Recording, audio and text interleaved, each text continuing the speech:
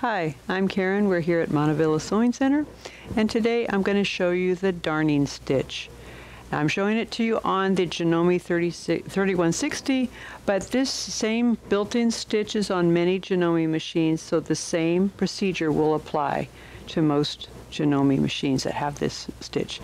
The uh, controls, of course, may be in a different position and used different ways, but it's the same steps.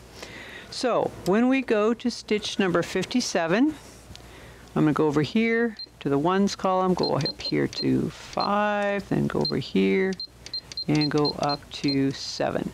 Now, notice stitch width has disappeared because we're not going to use that function. Uh, and it calls for foot R. We're going to take this foot off. The R foot is your buttonhole foot. It has an R on it like that. Now, the procedure for doing this is outlined in your book on page 32. So we'll basically walk through that. First thing it says to do is make sure you've opened this all the way up like this. Then we put this under here, put this down. Now we're not doing a buttonhole, so you don't need to use the little buttonhole lever back here and it has no indication of that up there. But we do need to have the thread underneath the foot. So to do that, you take a single stitch, lift up the foot, pull the fabric out of there, undo that single stitch, and now we have the thread underneath the foot. Okay, when you have a tear in your fabric, I'm going to just draw one with my friction pen here. And the friction pen, by the way, is a pen that we sell here. Um, it basically disappears on lighter colored fabric when you iron it. So it's a really great pen for that. But I'm going to draw a line on here and that's going to be like our tear or cut in the fabric okay? The darning stitch makes a really dense uh, it's almost like rebuilding the fabric this is what it's going to look like. It's very dense stitch. Now this would be good for if you're, for instance, uh, have one of those jeans buttons that's actually pulled out of the fabric and you have to kind of rebuild that uh, fabric behind there. This is a good stitch for that. Even with that, you still might want to have like a thin piece of backing fabric behind that and cut away some of the excess fuzz from the old fabric when you do this darning stitch again. But then once you've got that, you can put a new tack button on. It's really neat that way. Okay, so also with my sample, you can see you can have a longer one and a shorter one, and I'm going to show you how to do that also. When the stitch starts, it's going to start down in this corner and work its way back. So on this, we're going to want to start like right about here. I'm putting the dot on the fabric. You don't have to do that, of course, but to just for demo purposes and lining it up. So we want to line this up so that dot is right under near where the, where the needle goes. Also, you want to have the cut of your fabric or the, the place that you want to mend horizontal to the direction of sewing that or perpendicular to the direction of sewing. Make sure it's not going uphill or downhill. So you don't want to miss that. Okay, and at this point, all we need to do is press on the pedal and it starts on its own and it keeps sewing. Notice what's happening.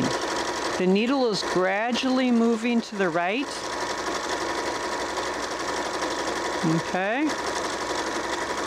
Another thing I'm noticing, now when it gets to the end, it stops right there. And now we can just move this over and keep sewing continually. That's what I did with this shorter stitch here. It actually stopped here, I was able to lift up the fabric, move it over, start right where I stopped before, do another one and another one. So you can make your darning stitch as long as you need it to be. Now one thing with this that I noticed, see how that's going uphill like that? We want to correct that. And here in the book, it shows you at the bottom how to adjust the evenness of the darning. So that one's tending to go uphill like this. That means we want to press the down button. So let's move the cursor over onto where it says D5 and we want to press the down button. I'm going to go down to 1. 5 is kind of the middle. It goes all the way up to 9, I believe. So the next one, cut away my extra threads here, just kind of get them out of the way. There we go. Start near there, that perpendicular like that. So let's see how that changes the stitch. Okay. A little wonky, but it's all right. Okay, one thing I'm noticing is that I kind of overcorrected. I overcorrected and now it's kind of making the stitch going the wrong way. So rather than going all the way down to one, let's bump that up to say three, middle of the two. Okay, another thing is that you may not want to have your darning stitch be that long. So let's show you how you can make it shorter. And this point, we want to make it shorter. So what we're going to do is we're going to start sewing, but I'm going to show you something. If you've already sewn one darning stitch cycle and you want to adjust the length, it's not going to allow you to do it, and I'll show you what happens. So we start here, and I'm just wanting it a little bit shorter, so I go like this. But you hear that multiple beep that this makes? This is how we would shorten it. It's not going to allow you to do that. So let's just start over on that. Go back to this, get out of that stitch, get back into that stitch fresh. Now we have not, in this new stitch, we have not already done a darning stitch. Let's start over here. So I'm going to take about three or four stitches backwards. So it does the beginning locking stitch, goes one, two, three. At that point, I press this, it's going to take one more stitch back and then start going forward. And now you can see it's nice and short. And when I pressed this, it made that single beep. That means the machine accepted that command. Now notice it moved the needle back to the left, so we can move our stitch this way and I think we decided, oh, it's all right. I'm to just leave it like that. I'm overlapping the stitches a little bit because I don't want to have any um, gap there, but you can make them nice and even and straight. And you can just keep stitching that way until you've stitched the entire length of the tear in your fabric. So that's the darning stitch and how to adjust it.